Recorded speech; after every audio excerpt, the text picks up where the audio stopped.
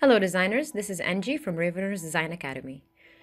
This will be my last video in 2019 before I take some time off to spend it with family and friends. Happy New Year! Hope 2020 will be a good year for Ravenors and for all of you out there. I'm working on the post-production of the season's greetings render posted on Ravenors Facebook and Instagram. My main focus in editing this image is to add some depth and enhance the reflections and warm tones within the image.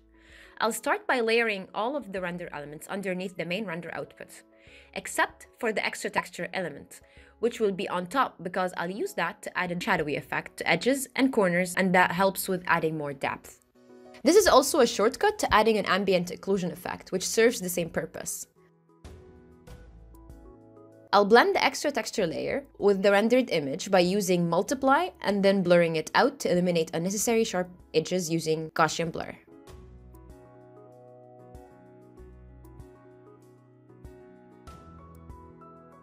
Next, I'll start using the Material ID render element as a selection guide to select the white rug and fix it up a bit. To duplicate or copy a selection to its own layer, just pre press Ctrl J on your keyboard.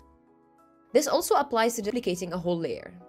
Once I've isolated the texture applied to the rug, I'll fiddle with the layer's opacity and fill to restore some of the white back.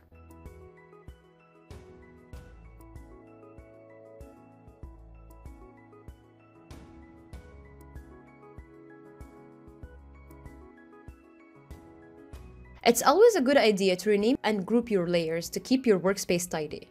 This in turn saves a lot of time you can spend confused or fixing mistakes. Moving on, I'll enhance some of my reflections by using the Material ID layer to select the areas I want to edit and then copying reflections from the Reflection Elements layer. I'll then overlay this reflection over the main image and adjust it to fit in. I'm going to go back and forth in hiding layers so I can check my progress and see what else I can use to further enhance my final outcome. This may look like too much work or that I know exactly what I want to do, but it's the complete opposite. Practice makes perfect, guys. The more you do this, the more you'll get a hang of post-production and the better your results will be. The black graphite or stucco looks a little washed out in my final render, so I'll fix that by selecting it through the Material ID layer and then copying the shadows from the raw light render element to darken it up a bit. I'll blend it by using Multiply and then fix its opacity and fill to blend it in further.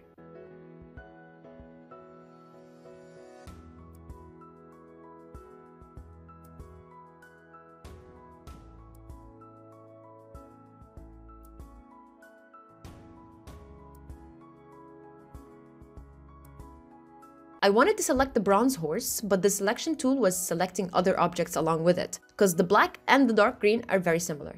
I'll fix that by adjusting the selection wand's tolerance so it's more sensitive to the dark green. Now I'll just add more shadows to it to give the sculpture more depth using the same technique I've been using.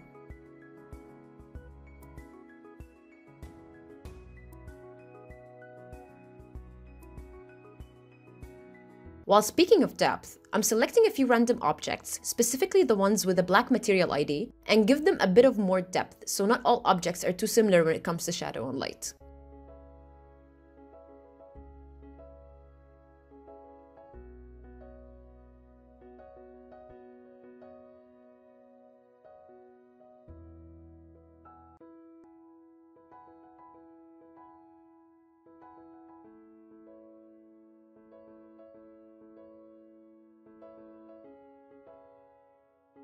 With the eraser tool, I'll remove the parts of the layer that affect glass, that's just unrealistically dark.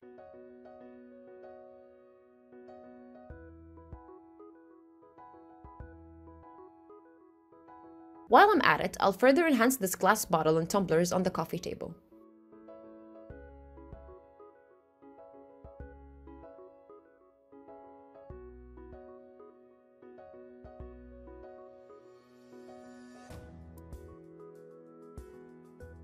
Moving on to the lights, let's make them look a little less artificial.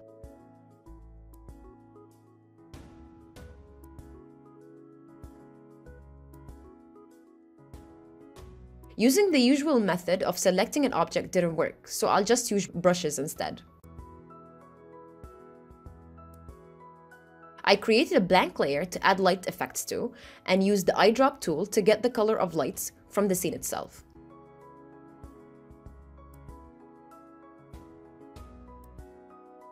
Using a custom brush set, I painted light rays so that I can blend them in and fade them out.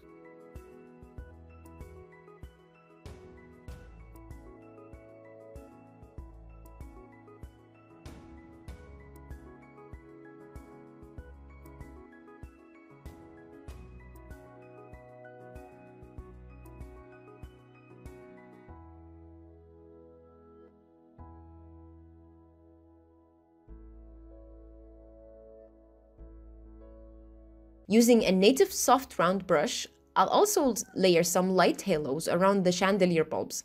Layering with different brush sizes mimics the way light radiates from a light bulb, more accurately.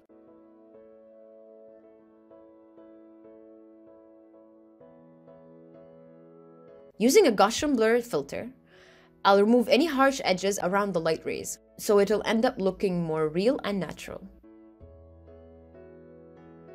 I'll do the same thing to this table lamp over here. I need to highlight the fact that it's emitting light because there are no obvious rays on surrounding surfaces like the one in the left corner.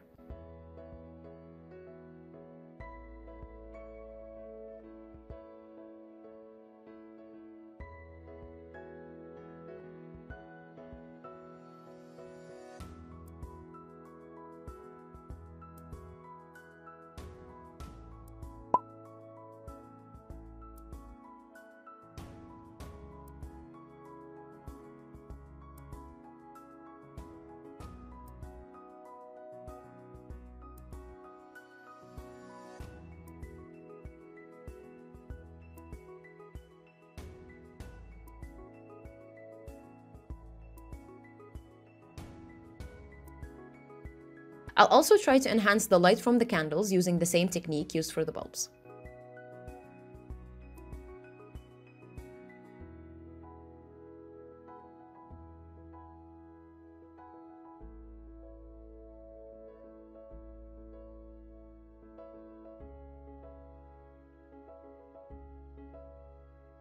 The tree and garland are looking a bit dull, so they needed a bit of attention as well.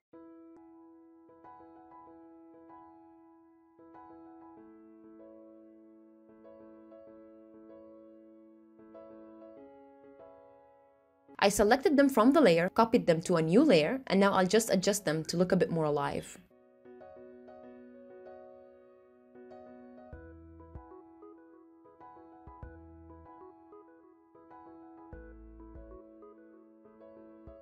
If you've noticed, the sheer curtains are looking more on the grey side compared to the rug.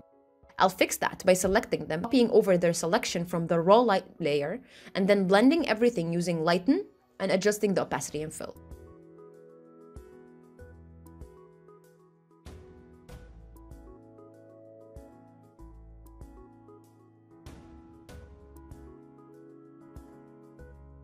I wasn't 100% satisfied with what did.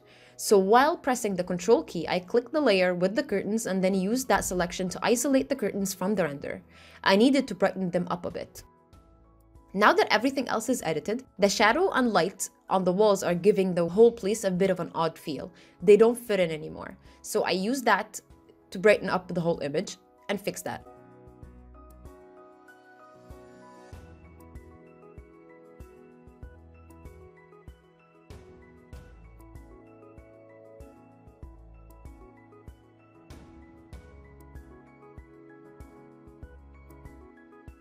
The glass of the second floor balcony needed to be brightened up too.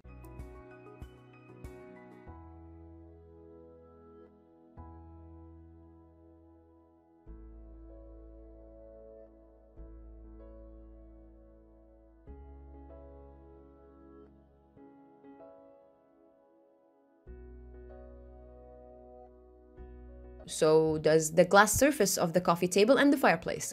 I included the terrace doors, but that just made everything outside a bit too bright to my liking, so I erased that.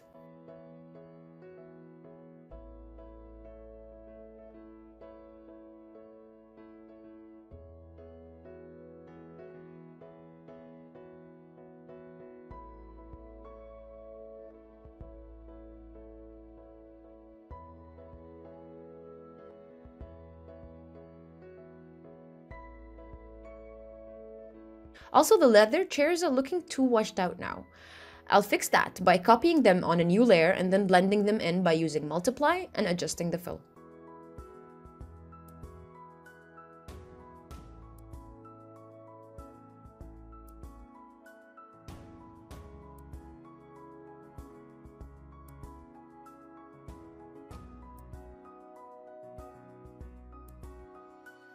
You can see that after editing one object, another starts looking a bit wonky and needs fixing.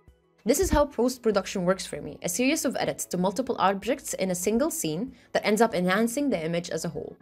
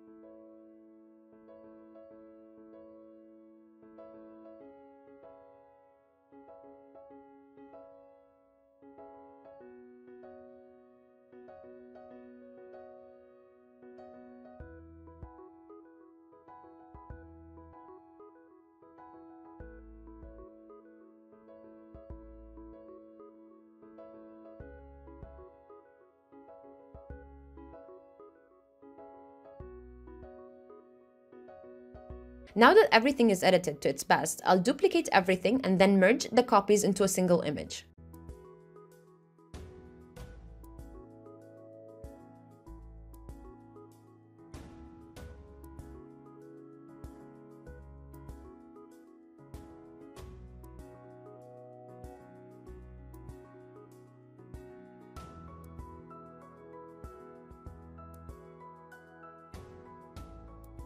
The reason I'm doing this is that I'll add a filter to tie everything up.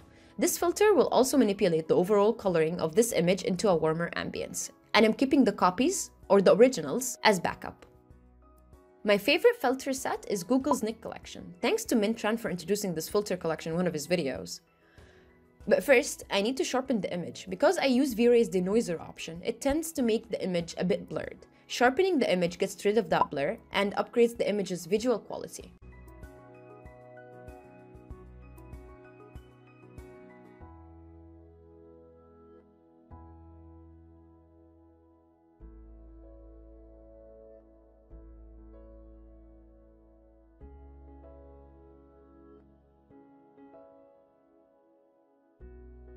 And that's that. As a temporary parting gift, this model is available for download indefinitely, so make sure to check the description of any of Ravenor's social media posts for the link to download, as well as the description of this video. The zip file contains all of the proxies, texture maps, custom V-Ray material, and render outputs, plus the PSD files used for post-production. There are also light cache files that you can load up into V-Ray for faster rendering. Thank you for watching, and have a happy new year!